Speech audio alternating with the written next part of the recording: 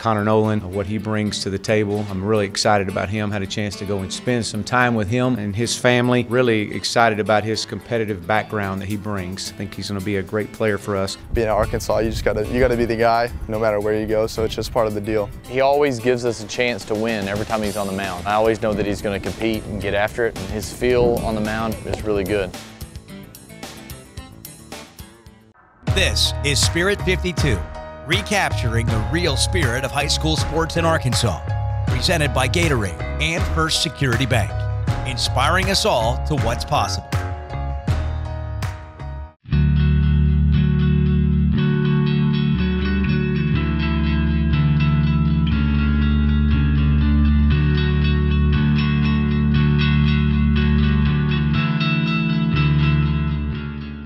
Greenwood two sport athlete Connor Noland is signed to play both football and baseball for the Arkansas Razorbacks. He's well known for being a state champion quarterback, but he's also a talented pitcher on the diamond. I like striking people out. You know, that's that's kind of the highlight of my day. You know, getting out there and competing against those guys. But it's you and the batter, and best person wins. He's faced 65 batters this year, and he's struck out 34 of them. So the numbers speak for themselves. It's fun to watch. I mean, it's like I'm in the stands watching, except I get a front row seat. I get to see the catcher's sign, so I kind of anticipate what pitch is coming, and I'm just amazed how good it is whenever he pitches it. I saw Connor pitch a couple times this past summer, and it was really good. If Connor just played baseball, I would say Connor would pitch for a long time. He's a 90 mile an hour kid with a good curveball. He's had a lot of good baseball players, and obviously he knows what he's talking about. So for him to say that about me, that means a lot. I definitely appreciate that. As some of the scouts would say, the best amateur breaking ball that they've seen this year, which says a lot because those guys watch a lot of players. With Noland being great at baseball, he could get drafted high in the MLB draft and skip playing for the Razorbacks to go pro right out of high school. For him, potential-wise, I think baseball is where he will make his money at. When you look at it, there's only, what, 20, 30 quarterbacks in the, in the league, whereas each staff in Major League Baseball has sometimes 15 to 20 starters and relievers. It's definitely a dream of everybody I think that plays baseball. They want to play in the MLB and you know, just have to take the right amount of money and the right organization for me to go. And uh, I'm definitely looking forward to college, so it's going to take a lot to sway me that way. I know he's a fantastic baseball player. I look forward to watching him play, matter of fact.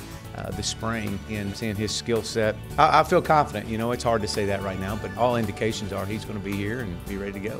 Of course, we can't forget his football ability, as he had nothing but success in high school and fits right into Chad Morris's up-tempo offense at Arkansas. Connor can throw it sideline to sideline, boundary to boundary. There's no throws that he can't make, and that makes it really, really difficult to defend. Plus, he's elusive enough. If you try to pressure him, he can scramble around and, and make plays with his feet. It's a lot of fun coaching Connor, there's no doubt about it. I think I fit perfect. I mean, I ran almost the same offense in high school, so I transitioned well into that. I don't know how you could draw up any better I would think that Coach Morris would look for a quarterback pretty much like Connor. You got a guy six foot two, can hose it, and also has escapability with his feet. I want someone that wants to get out there and wants to compete. You want someone that has a great competitive heart and drive about themselves. Once Coach Morris came in, I felt really confident in him and his coaching staff. They came in a lot of energy. They talked to me right away. Once Noland steps on campus in Fayetteville, he'll be competing for playing time in football and baseball and trying to handle something that not many people can do, play two sports in college. I think I've been preparing my whole life for that. I think it's all about time management. It's a business once you get to college, but I think there's going to be people up there that will help me. Quarterback's a leader. You know, you want them in there early,